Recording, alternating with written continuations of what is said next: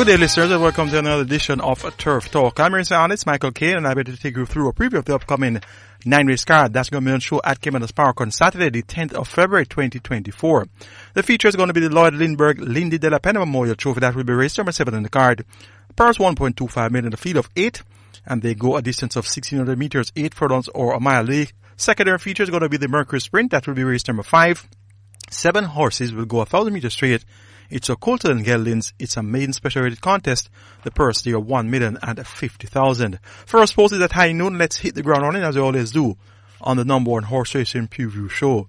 The opening contest starts at Reggae 6 and Catch 9. Reggae 6 jackpot just under 12 million and please note that it will be mandatory payout on Ash Wednesday. That's going to be the 14th of February. Ash Wednesday will be mandatory payout in the Reggae 6 so it's the last chance for you to hit the jackpot on Saturday. Catch 9 will have a mandatory payout on Saturday, minimum guarantee payout $1 million, and that's going to be a big ticket item on the card as well. Race number one is for five years and up, an optional claiming contest, 180,000 to 150,000, and they go a thousand meters around the purse, 600,000. My best four for the opening contest includes three Storm Valley, four Stein Saloon, six Matriarch, and seven Galloway Bay. Three, four, six, and seven are my best four. Number three, Storm Valley, better than this group, and uh, back down to 180 now. And was a huge riding for Trinidad Delaware Wisdom. This one last race on the 15th of October when well beaten at 400,000 by Custer Bowl Sammy and Duke of Springs.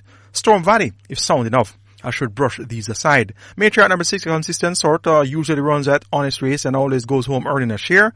Should be no different this time around with Matriarch Ramona Pay riding for Cashbrook Walsing and Galway Bay. Still a maiden after 35 attempts, but led for a long way last time out. Whip fell and uh, was served by three and a quarter lengths in the end after being seven lengths clear at the furlong pole. Omar Walker replaced Roger Ho in the saddle for Trinidad Donald Plumber. Let's see if Galway Bay I can run another interesting race. Number four, Slice Saloon, well beaten on last, coming off the break of some six months or seven months, beaten by Sabina and company.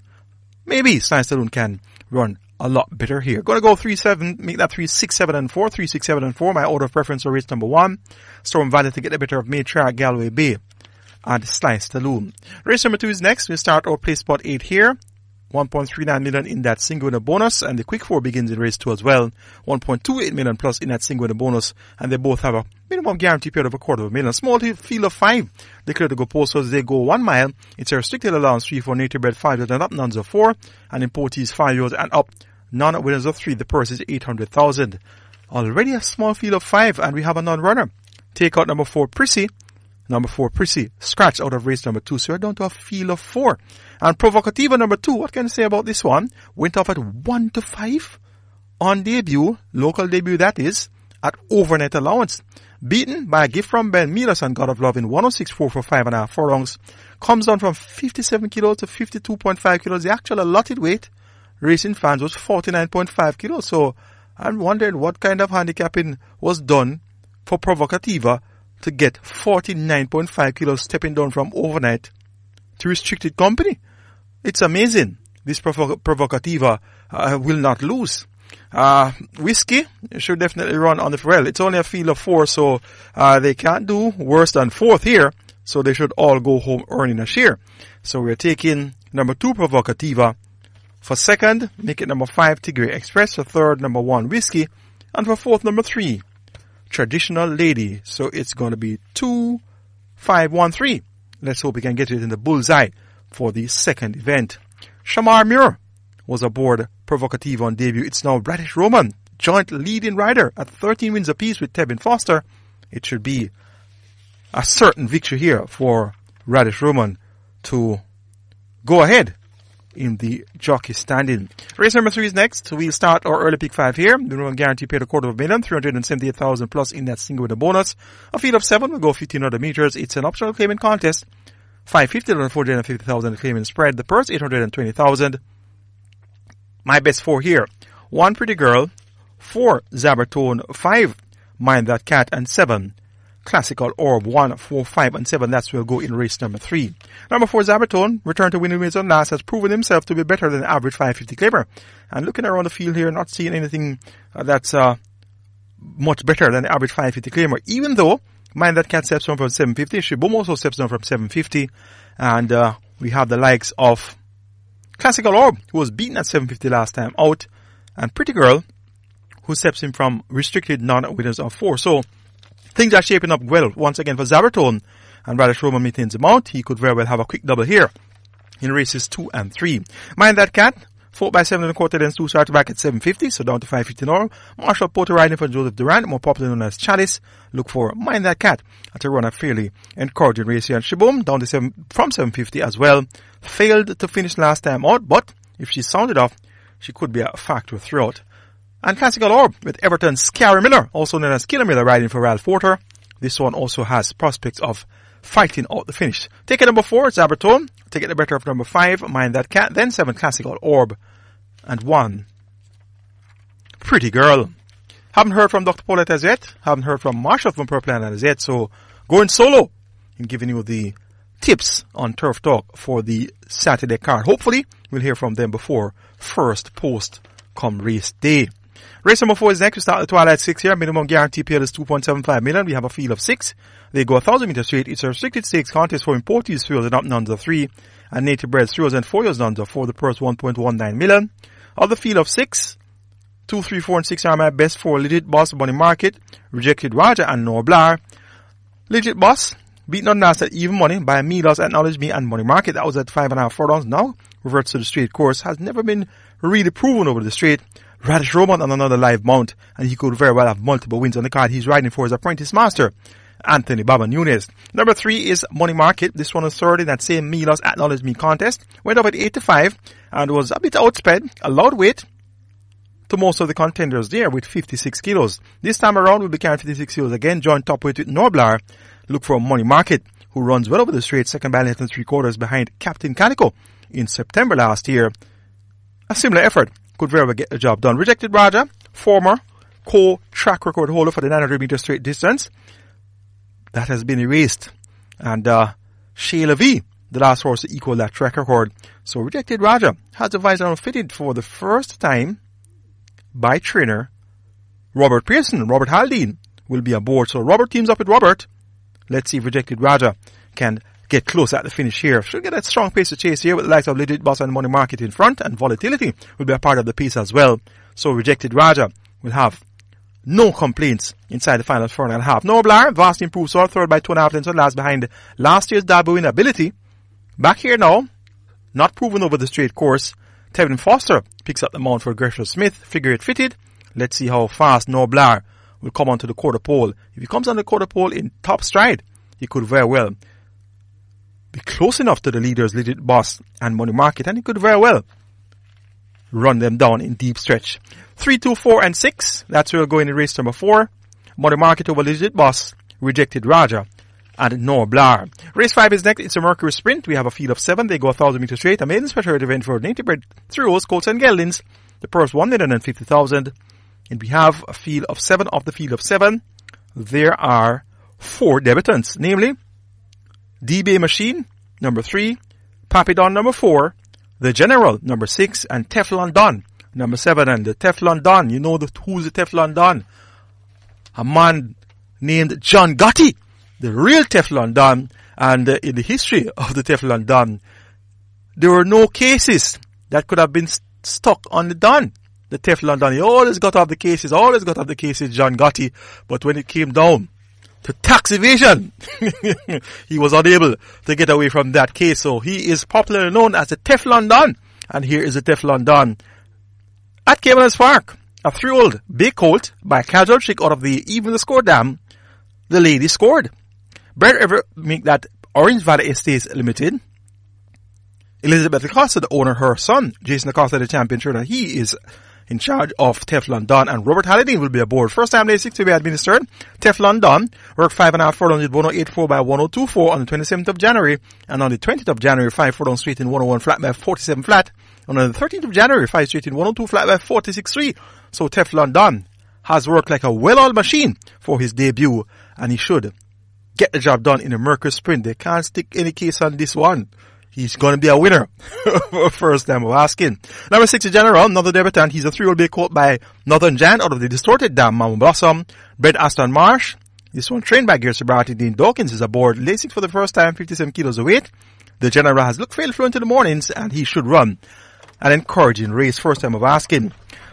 D-Bay machine number three, a three-old chestnut coat by Tapilu out of the traditional dam. Lady Lane, Brad Donovan Plummer, Old Elizabeth Acosta and Wayne Henry, Train Jason Acosta, and Lucy's are going to be aboard. This one hasn't done anything great at exercise, but should uh, be uh, on the premises throughout. And Papidon number four, a three-old bay coat by Sensational Slam out of the Western Classic Dam, Sparkling Michaela, so he's bred for speed. Brad Michael Kennedy owned Lawrence McKinney and Sacklin Roman, the trainer Daniel Thompson, the rider, Papidon is expected to run prominently throughout. Of the ones we have seen already, Warrior Stomp, getting on, getting out there and getting closer. Third two starts back behind Lord Caesar. Last time out second behind First Grandson. So look for Warrior Stomp, who's on the upgrade for trainer Alfred Davidson to be in the thick of things. Roger Hewitt maintains a mount for the sixth consecutive occasion. The figure has now been fitted. Number four is Bold Shadow. Tevin Foster riding for Patrick Lynch. This one quite fancied twice. 8 to 1 on debut, 7 to 1 second time out. Hasn't done much. But note, blinkers now on. First time Lasix to be administered, Bold Shadow should very well run much better than he did on his first two appearances. Gonna go 7, 6, 2 and 5, Teflon Don over the General. Nice two names of horses here. First time starter, they could run the exacta. Third, Warrior Stomp. Fourth, for me, is number 5, Bold Shadow. 7, 6, 2 and 5. At this point, we're going to take our mid-program break. When we return, we have four races remaining on the Lloyd. To the program, you're still Michael Cain, taking through the preview of the upcoming nine race card Death Minute Show at Caymanas Park on Saturday, the 10th of February. 2024. And please remember, we'll be having Wednesday racing next week. That's going to be on Ash Wednesday. Ash Wednesday, and of course, the 14th of February is also Valentine's Day. So what are you going to do? Are you going to be celebrating the start of Lent? Or are you going to be celebrating the Valentine. You're to make, make a choice there. Or, well, clearly you can share the day between the two. But which one will come first? Will it be Lent or will it be love? that's to be uh, a nice uh, Ash Wednesday. never remember Ash Wednesday falling on Valentine's Day ever. So this is going to be a first occurrence in possibly history, or could it be uh, some uh, long, long, long time ago before you and I were ever anywhere near the planet that we had uh, the same day of Ash Wednesday and Valentine's Day. Rat race number six, last triple, make that last four. That's a strike four begins here. In the sixth event, minimum guarantee payout is 500,000 last which of course will start in race number seven. Race six is for 400,000 claimers. They go 1,000 meters straight. The per 790,000. My best four here includes 3 Chai 2 Prince, 5 Southern Flight, 7 Queen Zan, and 10 Silver Fox. 3, 5, 7, and 10. That's where we'll go in the sixth event. Number 5 Southern Flight, Philip Parchment riding for Carlton Cunningham, more popularly known as Jerry, and owner Carlton Watson of Castle Manufacturing fame. They team up here, stepping down from 550, first time of the claim, claim on New Year's Day, January the 1st, when beaten by Basilicus. So, from 550 to 400,000, Philip Parchment and the aggressive rider aboard, sudden flight should take them to the winner's enclosure. Number three, Chai 2 Prince, Speedy Sort, won easily last time out at 250, steps up now to 400,000. First time out the claim, Raddesh Roman riding for Alfred Brown, rather Alfred Davidson, correction there, and uh, Chai 2 Prince clearly has the speed uh, to make the lead here, and Raddesh Roman rides well from in front, so he could very well have the Alfred Davidson trade, Chai 2 Prince, traveling like a well-oiled machine throughout. Number seven, Queen Zan also possesses speed, chances are she'll be found wanting in deep stretch. And we have towards the outside Silver Fox, who runs well when fresh, makes his seasonal debut. 57 kilos of weight, Dean Dawkins riding in on, well, actually in without a tag at 400,000. Can't ask for anything easier for Silver Fox and Silver Fox from this wide draw could very well fight out the finish. Also, joint top weight is Silver Fox with sudden flight. Taking number 5, Sudden Flight, just over number 10, Silver Fox. Then number 3, Chai 2 Prince. And 7, Queen Zan. Race number 7 is next. is the Lloyd Lindbergh Lindy de la Pena Memorial Trophy. And remember, many years ago, Lindy de la Pena and Dr. Paul Wright used to be the host of Turf Talk. And I came on as a guest tipster in 2008. And look where I am now. And uh, really give uh, Great thanks there to Lindy Del Pena and uh, Dr. Paul Wright to have invited me as a guest. And they like my work. And uh, the rest is history. And now we pay respect to the late Lloyd Lindbergh Lindy De La Pena in race number seven on the nine race card. They go a mile or 1600 meters or 8 furlongs. The purse 1.25 million. A feed of 8. Last triple starts here. Minimum guarantee paid is 400,000. 2, 4, 6 and 7 are my best four. Further and beyond, Baby Like, Dead Cornerstone and Divine Force. Divine Force won impressively last time out. 5 and 3 quarter lengths clay in 132-2 for seven and a half furlongs. Really showed good early promises did, did Divine Force. Won by 11 lengths over seven furlongs in 128-2. January 2023. Won by two and three quarter lengths over 1,000 meters straight in 59-2. April 2023. Took a little bit of time to get back to winners enclosure, but apparently had setbacks along the way. That's the norm in thoroughbred racing. Devin Foster maintains the mount here for Fidifiano D and ACK Stables. I'm expecting Divine Force to deliver on early promise and could very well be on his way to the top. Number four, Baby Like, second in the St. Elizabeth Distaff on Jamaica Cup Day last year, beat by Desert of Malibu. Hasn't gone as close since, but last time out, third by three lengths behind Rhythm Buzz and Sonny T and Chippy. Look for Baby Like with Bradish Roman in the side for Philippiano Lee. Philippiano Lee has two runners here. The anti-post favorite Divine Force and Baby Like. Baby Like has the blinkers removed for this assignment. Further on beyond, former horse of the year, third by and a half lengths last behind Sister and Treasure and Sonny and Chippy. Larry Allen picks up the mount here for Donovan Hutchinson, more popularly known as Dude. Visor off, look for further and beyond to run a decent race here. And they had cornerstone number six, third last time out to Neil Star and Sensational Move. Three stars are back third by neck behind Rainswood and Neil Star. Any of those two efforts reproduce here should see had cornerstone earning his keep. Gonna go 7426 in the Lloyd Lindbergh Lindy la Pena Memorial Trophy. And that's Divine Force to get the better of Baby Like further and beyond. And the head cornerstone. The seventh, the seventh event will be the feature. The eighth event is next. The penultimate. It's a restricted allowance 5 for native bred 5 and up nuns of 2 and importees 5 years and up maidens. They go 1400 meters or 7 furlongs. The purse is 720,000. Of the 11 horses declared to go postwards, I've made my best for my quartet of interest. 2 Salud, 3 Dancing with the Cat, 4 Ahmad Ali, and 6 Don Vincenzo, 2, 3, 4, and 6 Salud. Second by a gap last time up, beaten by Just Move In has good pace, and you know they say pace makes a race. Paul Francis, Ryan Darby, and Sean Connection look for saddle to before the place steer. Dancing with the Cat got a lot closer last time, out third by half a lane, beaten by King Ear and Special Gift. Now gets a furlong longer to travel. Terry Foster maintains a more for trainer Paul Swaby. Dancing with the Cat can step up a place in our two here, and is going to be a live contender for the win. Ahmad Ali was second last time out on the 2nd of December. That was Mumte Malde, beaten by Premier Identity. Written that day by Alan Bongo John Marad with 55 kilos. It's now going to be 51 kilos for Jordan Barrett. Blinkers on, tongue tie removed by Errol Anthony, Lickers up sobriety. Ahmad Ali could very well have their measure. At number six, Don Vincenzo needs absolutely no introduction. He continues to prove to be extremely expensive to follow. Tell you, each time Don Vincenzo comes to the card, I have to just laugh and say, well, he look like him have a chance, you know. He look like him can really win this time. And I always handicap him in my top three or four. Sometimes I give him the vote to win. But I tell you, Don Vincenzo is not very friendly when it comes on to winning. Uh, let's see if Philip Parchment can get him to deliver on long time expectations at this non-reserve two level. Taking number four, Ahmad Ali. To get the better of number three, Dancing with the Cat. Then six, the infamous Don Vincenzo. And uh, two, Salud. The ninth and final event will close the curtains with a field of 13. They go 1200 meters or 6 furlongs. It's a maiden condition race for native bred fours and up. The purse 730,000.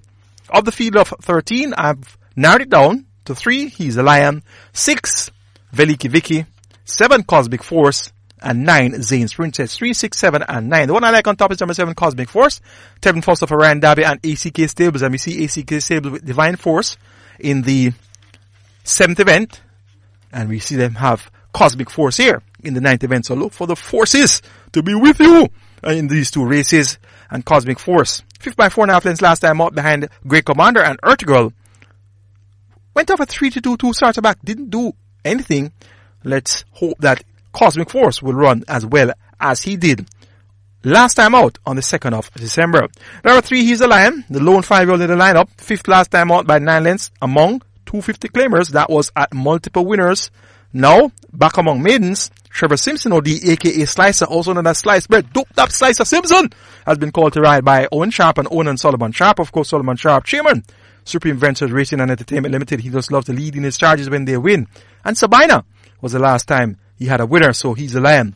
He's going to be looking to follow through on Sabina.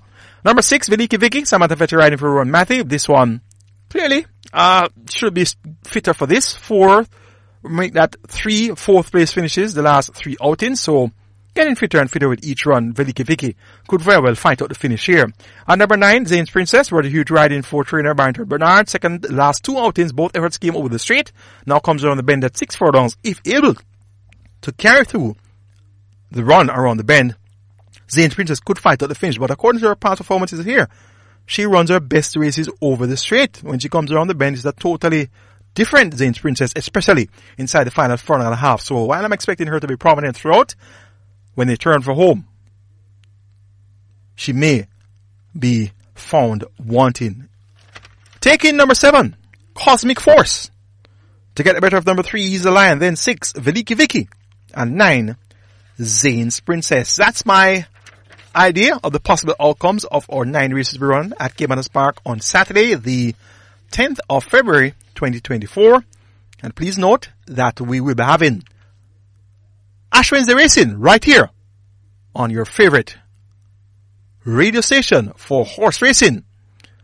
I'm your soundist, Michael Cain, on behalf of our studio engineer, Richard Catanis, more popularly known as DJ Cat, until it's time for live racing from Caymanas Park, first post, high noon. Goodbye for now.